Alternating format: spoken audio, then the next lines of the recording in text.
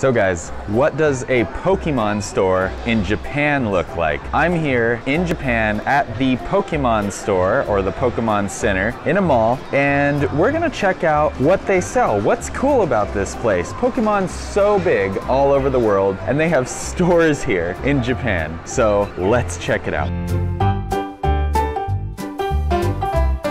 So, of course, guys, right when you walk in, you can get the Pokemon cards to be expected, but what's not expected is a Pokemon or a Snorlax tissue box, pillow, side, hanger, holder.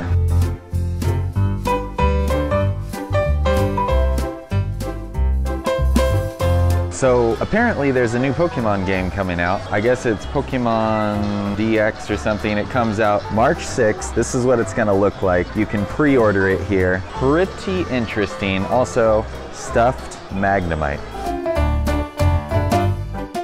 We got Pokemon phone cases. Really cool Pikachu phone case. Card sleeves.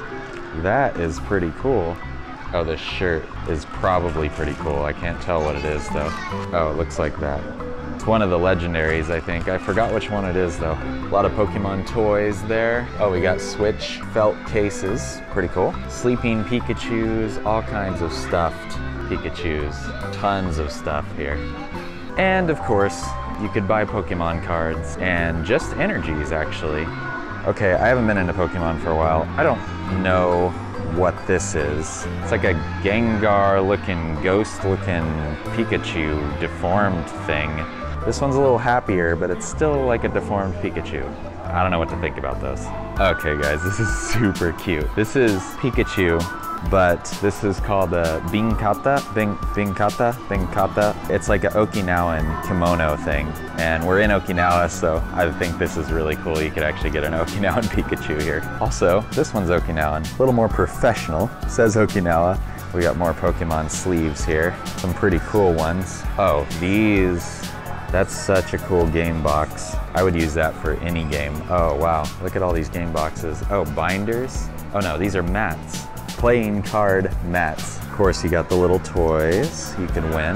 Lots of candies and snacks that are Pokemon themed. Here's a little Poke Poke Pikachu bag. Gengar socks. Gengar's a favorite Pokemon. Ghost Pokemon are really cool. I like Haunter the best, but Gengar's cool too. You could get like pretty much any Pokemon you want stuffed here. Here's Electabuzz, Krabby. Wow, Look at Weepinbell. yeah, Machop, Machoke, Machamp, uh, Ninetale. Wow, they have every Pokemon here you could think of in a plush.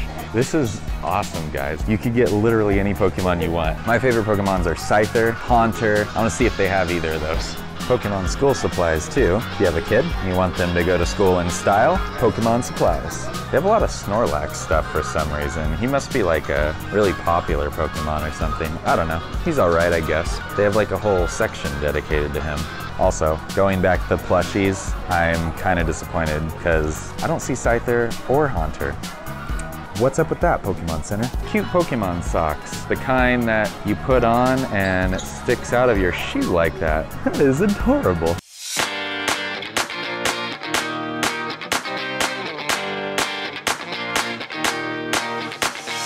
Also guys, the glass outside of this place is all Pokemon. So if I stand over there, looks pretty cool. There's also a battle game you can play. It's like a Pokemon battle station in front of the uh, Pokemon store. So guys, that's what a Pokemon Center looks like in Japan. These Pokemon stores are starting to become really popular, not in America, of course. Silly. But in Japan, they're kind of in a lot of malls. They're starting to pop up. Any good sized mall in Japan has a Pokemon Center. Uh, I think they used to be called Pokemon Centers, but this is just called a Pokemon Store. I think they might have changed them all to Pokemon Store. Anyway guys, that was it. If you love Japan and you love Japanese content from an American's perspective, this is the kind of stuff I find cool that maybe Japanese people wouldn't necessarily find as interesting as I would. But if you find this kind of stuff interesting, go ahead and subscribe down below because this is the kind of stuff I'm gonna be doing on my channel. If you like the video, go ahead and like it, thumbs up. Thanks so much guys, and I will see you in the next video.